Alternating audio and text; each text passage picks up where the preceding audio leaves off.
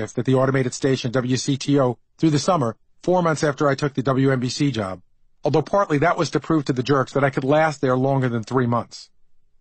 When I wasn't rushing back to Long Island, I hung at WNBC long after my shifts were over. I wanted to meet people, and I needed to know everything about what happened there. There wasn't an aspect of working in radio I didn't find interesting. I became friendly with the prop master for NBC TV, an old guy who had been there since it was the blue and the red networks. I spent some afternoons in the basement of the building talking to him, listening to his stories from the early days of radio and TV. Every trunk stacked in a storage room held a million different stories. I was around so often that even Imus grew comfortable with me. Back then he had agreed to do a PSA for the American Cancer Society about quitting smoking. He tried stopping for a while, but eventually he picked up the habit again and still had to do the PSAs. So he did them while he had a cigarette dangling from his mouth. That's part of the beauty of radio. I was a smoker too. Back then you could light up in your cubicle without breaking the law. I had an ashtray on top of my desk, and I kept my cigarettes perched next to it. One day Imus came out of the studio and he walked by my desk. I heard him mumble something. Then he turned back and grabbed one of my cigarettes. He did that every day for a week, just mumbling and taking my cigarettes. One morning when he picked up my pack, I looked at him and said, Did you quit smoking or just quit buying? Fuck you, he said, in the nicest way anyone could possibly say it. Later that day, his producer handed me three packs of cigarettes without a word. I felt like I was in the club after that. The best part about working the morning shift was being done by 9.15. It meant I could volunteer for just about any other job at the station that needed free labor. When my shifts were over, I hung out with my friend Lori in the promotions department. She always had a task no one else wanted to do. Every summer, NBC did a big promotion where you put a bumper sticker on your car and then drove around hoping to be spotted by the station's N car. At the time, it was for Stroh's beer. Listeners went to convenience stores like 7-Eleven and picked up a Stroh's WNBC bumper sticker. Then the station sent out the N car, searching for people that had the bumper stickers on their cars. During the day, Imus or the DJs or whoever was hosting a show would say, okay, the N car is going to be driving around Livingston, New Jersey between 3 and 7 this afternoon, so be listening.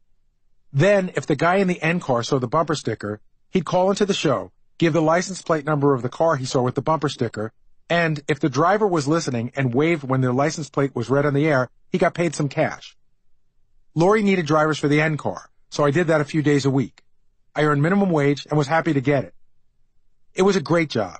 I got to drive around, listen to the radio, and occasionally I got on the air. I called into the station from a car phone that took up the entire middle console between the two front seats. It was fucking enormous. The first thing the manager of the NCAR told me was that I couldn't call my friends while I was driving around because it cost about $150 an hour to use that thing. Usually I was in the NCAR after my shift for WNBC's midday show, which was hosted by Captain Frank. He was a real religious guy. Every call began and ended with him saying, God bless you, Gary. God bless you. Then it went something like this. How you doing in the NCAR today? I'm great today, Frank. Are you following a car? I am, Frank. Okay, driver, wave to Gary to win your $66. Are they waving, Gary? They sure are, Frank. And then they'd win $66. WNBC was 660 on the AM dial. Once a month, the station gave away $660, and at the end of the year, it offered up $6,600. Pretty soon, people around the building got to know me. They may not have known my name, but they knew that I was the kid at Roz's desk and the guy who drove the N car. Every once in a while, I got to drive the N car during Howard's afternoon show. Howard Stern was the guy everyone at WNBC talked about. Imus was the legend, a big star in New York. My dad listened to him in the mornings on a transistor radio in his bathroom while he was shaving. But Howard was the guy who was off the map crazy. To be honest, I didn't listen to him that much because I was still a radio snob.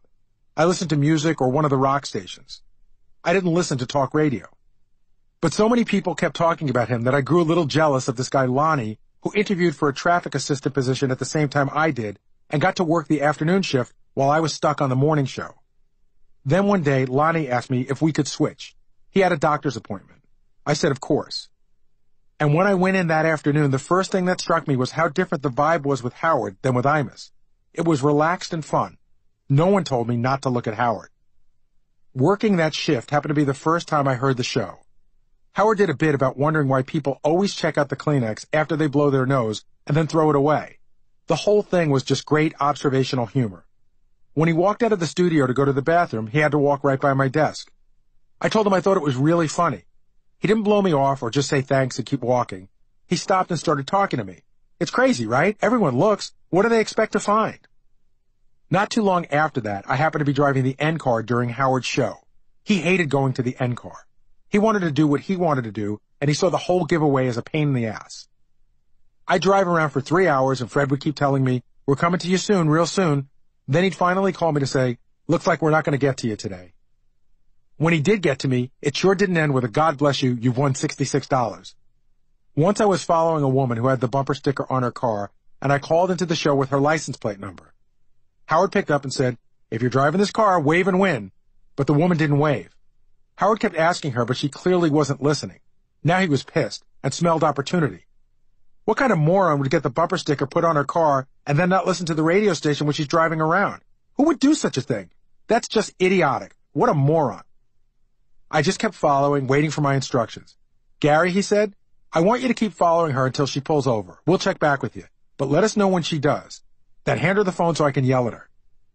Every few minutes they would come back to me hoping she would pull over before they went off the air at 7.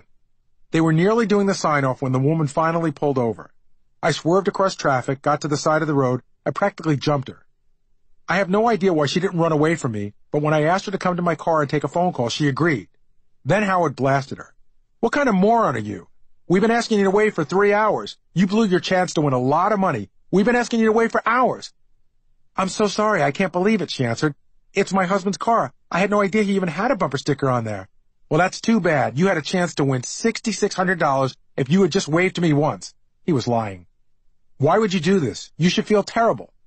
Then he hung up. The woman was practically in tears. So was I. I had never laughed so hard at anything on the radio. Gary's reverse bucket list. This is my list of the most amazing things that I've got to do that I thought I would never do because I was involved with the show. So, number one, shooting a machine gun out of a Black Hawk helicopter 150 miles north of Kandahar, Afghanistan. And I gotta tell you, if you're a man and somebody gives you the opportunity to put both hands on a machine gun and shoot it, it is the most amazing feeling in the world. Number two, being in the number one movie in the country. When that movie came out, it was number one. It was an amazing feeling. Number three, seeing the Red Hot Chili Peppers play on the North Pole. Got invited to uh, one of those gigs where they did it was for Molson's. My wife and I went. We were on a Russian ice cutter and going by icebergs and everything, and then we went and saw the Red Hot Chili Peppers with 150 people. It was great. Number four, meeting President Clinton.